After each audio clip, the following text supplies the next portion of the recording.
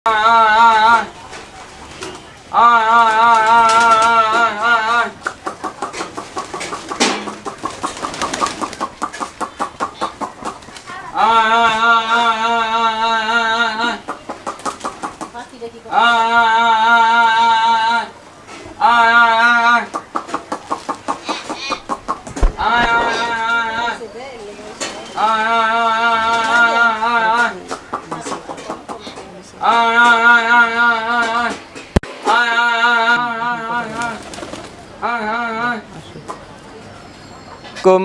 আপনারা যে যেখান থেকে আমাদের আজকের প্রতিবেদনটি দেখছেন, কৃষি টিভি লাইভের পক্ষ থেকে স্বাগত জানিয়ে শুরু করছি আমাদের আজকের প্রতিবেদন। আজকে আমরা চলে এসেছি নরসিংদীর সদরে। এখানে এক ভাই দেশি কবুতর, দেশি প্লাস বিদেশি কবুতর পালন করে অল্প পুঁজি নিয়ে স্বাবলম্বী হয়েছেন। তিনি নিজের আত্মকর্মসংস্থান সৃষ্টি করেছেন। ব্যবসার পাশাপাশি তিনি কীভাবে উপার্জন করেন, সে সম্পর্কে আপনাদেরকে দেখাবো।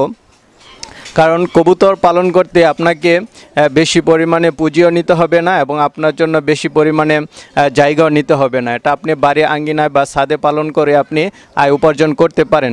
তো সে সম্পর্কে আপনাদেরকে বিস্তারিত দেখাবো। চলুন আমরা কথা বলি সেই কবুতর পালন করে সফল উদ্যোক্তা ভাইয়ের সাথে গাড়ি চালাতে তো খাওয়া দিতে পারে হ্যাঁ করতে তো না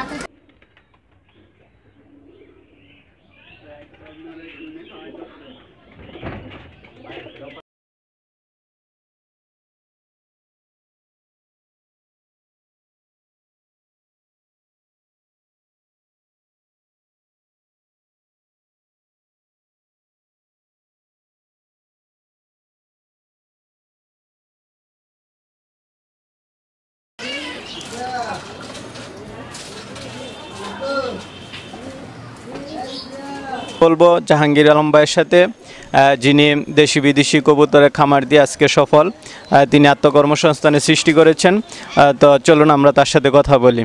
আসসালামু আলাইকুম ভাই। ওয়ালাইকুম সালাম। কেমন আছেন? ভালো আপনি ভালো নেই হ্যাঁ। তো জাহাঙ্গীর ভাই, আমরা আপনার এখানে দেখতে পেলাম অনেকগুলো দেশি বিদেশি কবুতর আছে।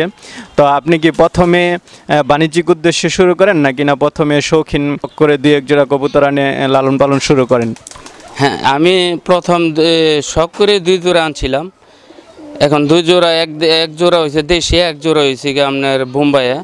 কিন্তু তারপর আমি যখন দুই জোড়া টঙ্গের ভিতরে দিলাম, এবং মনে করেন খুব পালতে দু তিন মাস পরে ডিম বাচ্চা দিল আস্তে আস্তে আস্তে আস্তে মনে করেন এই দুই জোড়া তুই আমি প্রায় তিরিশ থেকে চল্লিশ জোড়া আমি কবুতরের বাচ্চা বড় করছি। এখন আপনার খামারে কত জোড়া কবুতর আছে? এখন প্রায় পঞ্চাশ জোড়ার মতন আছে। প্রতি প্রতি মাসে আমার ত্রিশ থেকে চল্লিশ জোড়া বাচ্চা আসে। জাহাঙ্গীর ভাই আপনার এখানে কি শুধু দেশি কবুতর নাকি না বিদেশি কবুতর বা কত প্রকারের কবুতর আছে আপনার এখানে? আমার এখানে তিন চার জাতের আছে, কালো বোম্বাই আছে, এবং লাল বোম্বাই আছে, দেশি আছে, এবং আরেকটি কৈতর কবুতর আছে, কিন্তু এই তিন চার জাতের কবুতর আমি পালি। কিন্তু তারপরও মনে করেন এখানে কবুতর বহুত রকমের আছে, কিন্তু আমার তো সবচেয়ে ভালো লাগে দেশি, কালো বোম্বাই এবং লাল বোম্বাই কবুতর। তো এগুলো পালন করতে আপনার খাবার দাবার বা আনুষঙ্গিক আপনি কত টাকা এরকম খরচ হয় আপনার? এটা বেশি একটা খরচ না, যেমন আপনার পকেটেতে, যেমন আপনি দৈনিক একশো টাকা দুই সিগারেট চা ফানের সিগারেটের খরচ করেন। কিন্তু আপনার পঞ্চাশ জোড়া কবুতর পালতে মনে করেন, মাসে আপনার পনেরো থেকে বিশ কেজি গম লাগবে। গম, শসা এইটা ভুট্টা হ্যাঁ বুট, এবং এগুলা বিভিন্ন রকমের খাবার এগুলো এখানে মিলাই দিতে হয়। যেমন আপনি একশো টাকা খরচ করলে মাসে তিন হাজার টাকা, তিন হাজার টাকা দিয়ে আপনি কবুতর দেখাবান আপনার মনে করেন মাসে বিশ থেকে পঁচিশ হাজার টাকা দিতেছে। এবং মনে করেন এগুলা মনে করেন এই যখন আপনি সকালে যে কোনো কাজে বার হইবেন তখন আপনি দেখা গেছে উঠানের মধ্যে বা ছাদের উপরে যে কোনো জায়গার মধ্যে কবুতর আপনি পারলেন এবং নিচের মধ্যে আদার দিলেন আদার সব এক এক জায়গাতে এসে খাইবে। এবং আপনি যদি কবুতর মনে করেন দেখা গেছে গোসল সপ্তাহে একদিন গোসল করা দিবেন স্যাবলনের পানি এবং মনে করেন এই খাবারগুলো এই এই শস্যগুলো এগুলো দিতে হবে। কিন্তু না দিলে দেখা গেছে তাদের ঠান্ডা হইতে পারে এবং জ্বর সর্দি হইতে পারে। সেই কারণে এগুলো দিলে টুকটাক ঠান্ডাগুলো এগুলো কাটবে। মানে এরকম দেশি বা বোম্বাইয়ে যে কি কি কি সাধারণত রোগ হতে পারে, এগুলোর ওষুধ আপনি কীভাবে দেন? আমি আগে প্রথম প্রথম পশু হাসপাতাল নিয়েছিলাম, তখন আমার এক ভাই বলছে, এবং ডাক্তার সাহেব ওনারা বলছে রেনামাইসিন না আপনার প্রতি মাসে একটা আপনার পানির মধ্যে দিবেন, দিলে তাদের খাবে, পানি খাবে, তখন তাদের অসুখ বালা, এটা হবে না। আর আর আরেকটি বিষয় হচ্ছে কি, আপনি দেখা গেছে কবুতরের বাচ্চা আপনি উঠাইছেন, কিন্তু উঠাই দিয়ে লেদা মেদা এগুলো পরিষ্কার না করেন এবং আপনার বাটি দেন বা হান্নি দেন মাটির যে কোনো পাতিল দেন, ডিম পাড়ার জন্য, এগুলো যদি পয় পরিষ্কার না করেন মাসে একবার, তখন রোগ হবে, যে কোনো রোগ। আর যদি এগুলো পয় পরিষ্কার রাখেন, স্যাবলন দিয়ে এগুলো দিয়ে ফেলেন শুকায় রোদের মধ্যে, তখন এগুলো দিলে তখন গিয়ে আর রোগ বালা হবে না। আপনি এগুলোর বাজারজাত কীভাবে করেন? আপনি কি বাসা থেকে বিক্রি করেন নাকি না বাজারে নিয়ে বিক্রি করেন? না আমার বাচ্চাগুলো এখন আপনি যদি বাড়ি থেকে নিয়ে যায় বেশিরভাগ আমি বাজারে যাই না।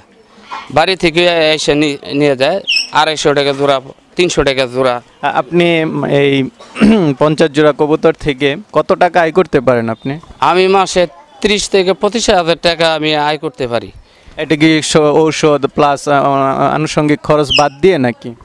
হ্যাঁ খাবার মাসে তিন হাজার সাড়ে তিন হাজার টাকা আসে। আর আপনার ওষুধ ওই স্যাবলনে এইগুলো এক দেড়শো টাকা খরচ দেয় এইগুলো মনে হয় তিন চার হাজার টাকা বাদ গেলে আপনার পঁচিশ ছাব্বিশ হাজার টাকা আসে। পঁচিশ ছাব্বিশ হাজার টাকা আপনার আয় হয়। তো এখন যদি কেউ মনে করেন যে আপনার থেকে কবুতর নিয়ে বা যে কোনোভাবে কবুতর পালন করতে চায় বা শুরু করতে চায় তারা কীভাবে এটা শুরু করতে পারে? এটা প্রথম একবারে দশ পালন যাবে না দশ পালতে গেলে সেই আবার কাজ থুয়ে আপনার ইয়া করতে হইবে, কবুতর পালতে হইবে। কিন্তু এখন প্রথম অবস্থায় দুই জোড়া বা এক জোড়া আইনা তাদেরকে এবং বাড়িঘর চিনাইতে হবে। এমন যেমন আপনার এক জোড়া আনছেন এখানে মনে করেন দেখা গেছে গিয়ে এক জোড়াই না আদা দিলেন বা দশ পনেরো দিন খাঁচার ভিতরে রাখলেন। তখন গিয়ে আপনার আবার খাঁচাতে যখন বার করবেন, তখন পান্না দুই সাইডে দুই ভান্না মধ্যে বান দিয়ে দিতে হইবে। তারপর এটা আস্তে আস্তে আস্তে আস্তে যেমন একটা মানুষের মায়া এক জায়গায় গেলে সহজে মায়া বসতে চায় না, এনতে হেন, হেনতে হেন। তাই সেই কারণে এই কবুতরগুলো আপনার আস্তে আস্তে মায়া বসতে বসতে তখন এক জোড়া যখন বসে, তখন আপনি আস্তে আস্তে আরেক জোড়া আনেন। আরেক জোড়া আনার পরে যখন আপনি দেখা গেছে আপনি বেশি করে ফেলবেন, তখন এমনি আস্তে আস্তে আপনি তিন, চার জোড়া ভাত জোড়া করেন। পাঁচ জোড়া যদি করেন, তখন ভাত জোড়া দেখা গেছে কি আপনার মাস্ট পাঁচ জোড়া ডিম দিল, চার জোড়া সব পুরাইবে ওই যে কোনো বছরতে ডিম ভাঙ্গা লাইলো। কিন্তু দেখা গেছে কি, ভাত জোড়ার মধ্যে চার জোড়া পড়াইছে তখন আপনার আমরা ময়মুরবীরা বলল, বারো মাসে তেরো জোড়া কবুতর। কিন্তু হ্যাঁ বারো মাসে তেরো জোড়াই কবুতর। কিন্তু আপনি না বুঝলে বারো মাসে তেরো জোড়া কবুতর আপনি লইতে পারবেন না। আর যদি বুঝেন বারো মাসে তেরো জোড়া আসে, তা ঠিকই নিতে পারবেন।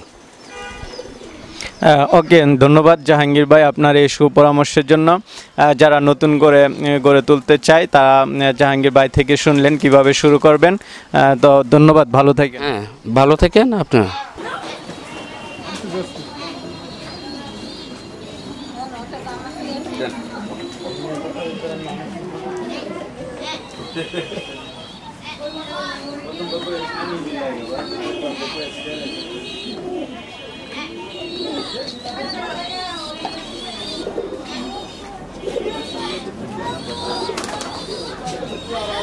ها؟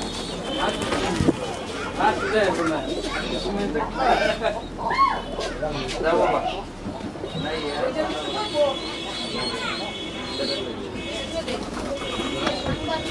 اخر انت اخر انت.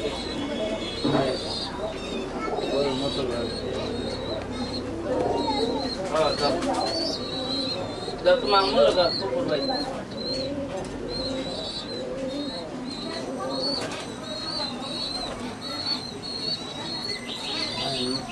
এলান্ডি ভাই কি করছ গো তুমি মাইকিয়া আয় আয় আয় আয় আয় আয় আয়